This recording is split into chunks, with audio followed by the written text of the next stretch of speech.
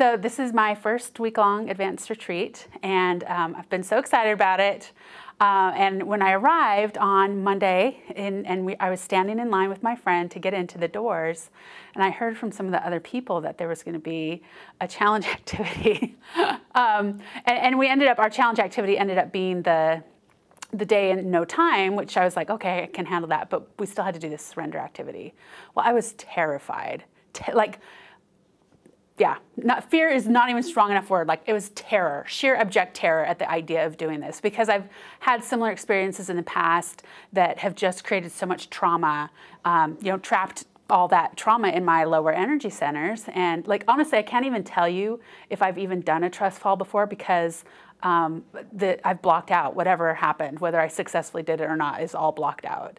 So I was I was really scared. And I was kind of angry, you know, at first too. I know the anger was just a mask for the fear, but um, you know, I was you know, why are they going to make us do this? This isn't going to help me. This isn't what I need, you know, that kind of thing. So I went back to my the place I was staying on Monday night and and I cried for like 2 hours. Just, you know, just sobbed and sobbed and sobbed and and you know, cuz I was so scared and but I didn't want that to ruin my experience here at the retreat.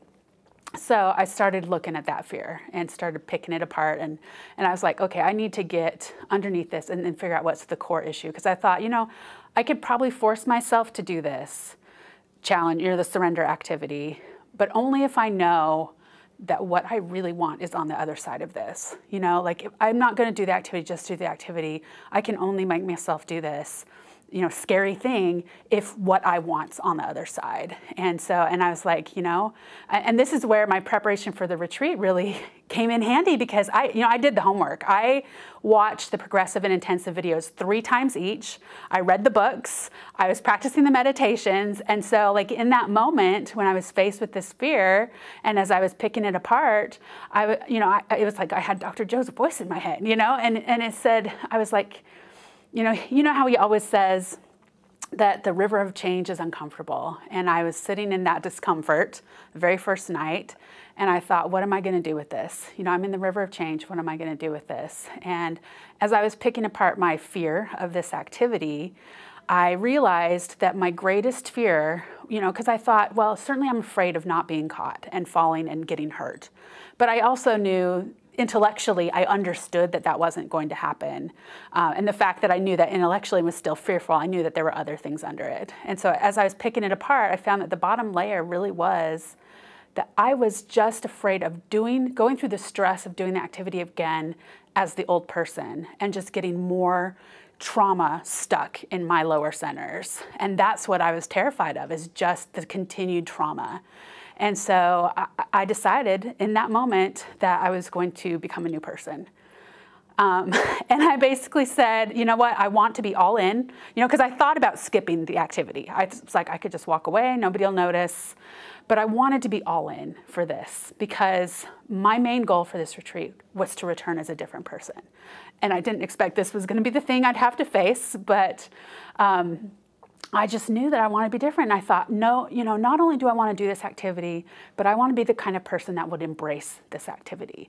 Uh, you know, my friend that I was traveling with loves trust falls and thinks they're exhilarating. And I was like, I want to be like that. Not just I can do this, but I love doing this.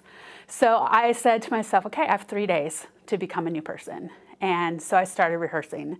Um, so I went out and I watched the surrender activity the first day so that I could see what it was like and I could rehearse in my mind, go, walking up the platform, um, you know, seeing the faces around me. I sized up my group, so I knew we had some big, strong guys and that was going to be okay. And um, I, you know, I practiced falling back on my bed, so I knew what physical movements to do. And I practiced saying um, my words of power. So, like, I made a little script for myself that, you know, phrases to say that make me feel powerful. So, I would say, I am Becky.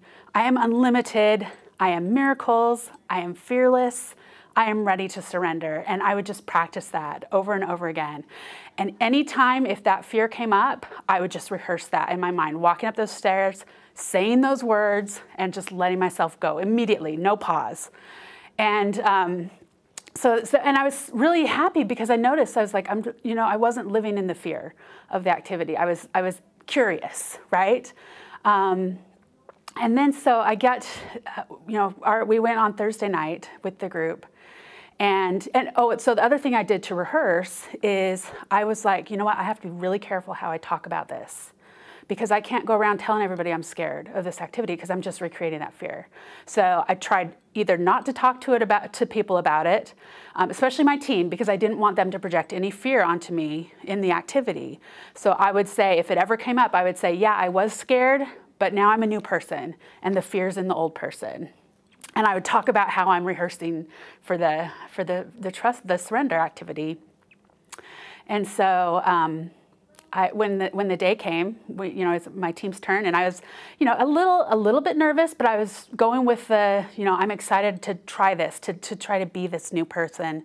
So I walk up the platform and I get up there, and immediately, as soon as I get in position, my legs start shaking uncontrollably. And I knew within moments my whole body was going to be in the shakes. And you know, the the coach right next to me, she said the perfect thing. She said, "This is just a program. This is just a, uh, an old program that your body's running." And in that moment, I knew that because I knew that I was a new person, and this was just my body reacting. And so when she said that, it triggered the new program that I had been rehearsing. And so you know, with my hands on my heart, I just said, "I am Becky. I am unlimited." And I am miracles, but I felt the fear getting bigger, you know, and the shakes getting bigger. And so as they got bigger, my I had to make my voice louder. I had to make my voice louder than the fear. And so I just screamed out, I am fearless. And I screamed out even louder, top of my lungs. I said, I am ready to surrender. And I just went for it it was amazing, but it was just so exhilarating to be caught. And you know, when I when I my team um, laid me down, I was I didn't know whether to laugh or cry. Like I was just overwhelmed by all the emotions and the, the personal victory that it was for me. Um, and then the neat thing is, since then, like I know that I'm a new person. And I know, you know, I think that scream released all that energy from those lower centers just right out through number five um, because I don't feel that trauma anymore. In fact, in this last meditation, the last thought I had coming out of it was this world really is a safe place. It's life changing, you know, and I, that's who I want to be. I want to be fearless, and now I am.